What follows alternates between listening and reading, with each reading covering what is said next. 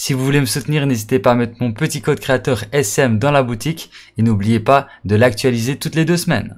Wesh les potos, bienvenue sur ma chaîne YouTube, c'est Cool Mike et dans cette vidéo, je vais vous aider à réaliser le défi qui va vous demander d'obtenir des munitions en glissant. Alors, si vous ne savez pas comment glisser, je mettrai une vidéo tuto qui vous explique comment glisser sur Fortnite. Donc n'hésitez pas à aller la voir si ça vous intéresse. Alors ensuite, ce que vous allez devoir faire pour réaliser le défi, c'est de récupérer 50 munitions. Donc ce que vous faites, c'est que vous déposez plein de munitions par terre, voilà, un peu de chaque. Voilà, comme ceci. Vous allez dans votre inventaire, vous déposez toutes vos munitions. Et ensuite, ce que vous allez faire, c'est tout simplement sprinter. Ensuite, s'accroupir pour glisser en maintenant euh, le bouton s'accroupir.